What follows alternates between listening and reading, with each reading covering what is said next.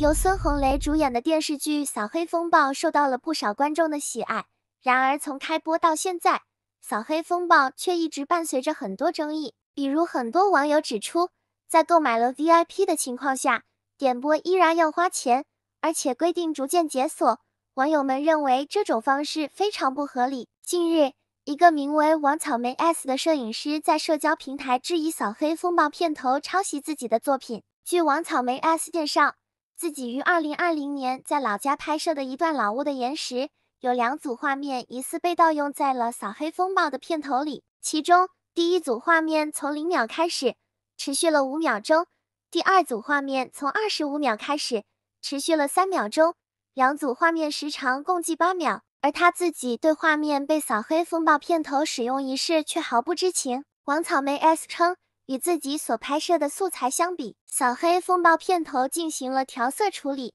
改变了画面的曝光与色调，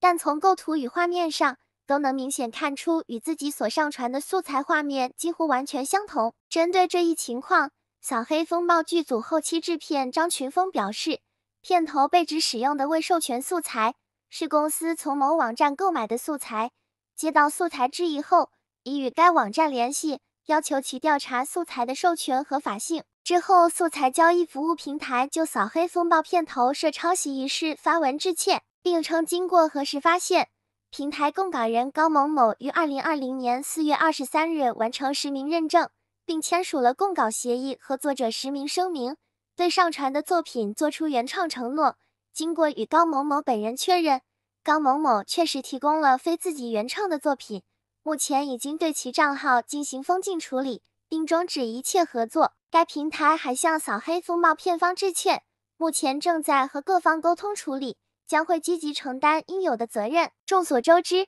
扫黑风暴》作为最近网络上比较火的一部剧，也是频频陷入风波之中，从版权资源泄露到在视频网站超前点播。扫黑风暴每次都能在社交平台掀起一阵阵飓风，如今电视剧接近收官，却被曝片头抄袭。扫黑风暴剧组后期如何处理该事件？桃子将和大家一起持续关注事件的后续发展。